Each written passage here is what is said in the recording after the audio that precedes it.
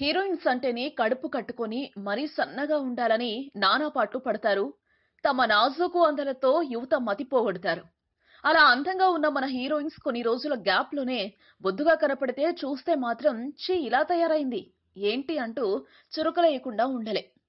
సినిమాలు కొంచెం తగ్గగానే పెళ్ళి చేసుకొని లేక ఏ పని లేకనో కానీ ఈ హీరోయిన్స్ మాత్రం గుర్తుపట్టకుండా మారిపోయారు.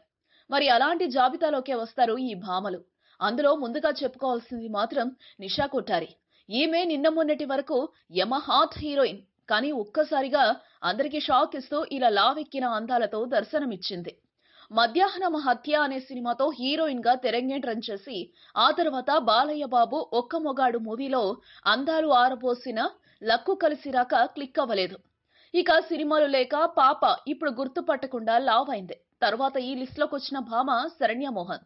విలేజ్లో వినాయకుడు సినిమాలో మొదట నటించిన ఈ నటి ఆ తర్వాత భీమిలి కబడ్డీ జట్టు వైశాలి ఇంకా కొన్ని సినిమాల్లో క్యారెక్టర్ రోల్స్ చేసింది. మొదటి సినిమాలో బొద్దుగా ఉండే కృష్ణుడి పక్కన హీరోయిన్గా నటించి ఇన్స్పైర్ అయిందేమో కానీ ఇప్పుడు మాత్రం బొద్దుగా మారిపోయింది. ఇంకా తదుపరి భామ రక్షిత. ముందు నుండి కొంత లావుగానే ఉన్న ఈ భామ సినిమా అవకాశాలు లేక పెళ్ళి చేసుకుని రాజకీయాల్లో యాక్టివ్గా ఉంది. కానీ చూడగానే షాక్ అయ్యేంతగా లావుగా తయారయ్యి అభిమానులను నిరుత్సాహపరిచింది. తర్వాత బాలయ్య బాబు హీరోయిన్ అదేనండి ఆదిత్య త్రీ సిక్స్టీ నైన్లో అందరినీ తన హస్కీ గొంతుతో మంత్రముగ్ధుల్ని చేసిన మోహిని ఇప్పుడు సడన్గా చూస్తే ఎవరూ గుర్తుపట్టరు.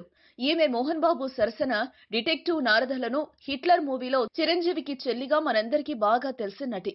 పెళ్ళి చేసుకొని విదేశాల్లో స్థిరపడిన మోహిని ఆధ్యాత్మిక బోధనలతో ఇప్పుడు బిజీగా ఉంది. కానీ చక్కనమ్మ కాస్త బొద్దుగా మారి మునుపటి కళ కోల్పోయింది. ఇలా ఈ లిస్ట్లో వీళ్ళే కాదండి. నమిత దివ్యవాణి రాశి రవళి. చివరికి ఇప్పుడు అనుష్క కూడా చేరినట్టే కనిపిస్తోంది. సో ఇదండి మన బొద్దుగుమ్మల జాబితా. ఈ వీడియో మీకు నచ్చితే ఓ లైక్ కొట్టండి. మీ ఫ్రెండ్స్కు షేర్ చేయండి. మీ సజెషన్స్ ఏమైనా ఉంటే కింద కామెంట్ చేయండి. మరో మాట ఇలాంటి మరిన్ని ఆసక్తికరమైన విషయాలు తెలుసుకోవాలనుకుంటే మా యూట్యూబ్ ఛానల్ను సబ్స్క్రైబ్ చేయటం మాత్రం మరవకండి.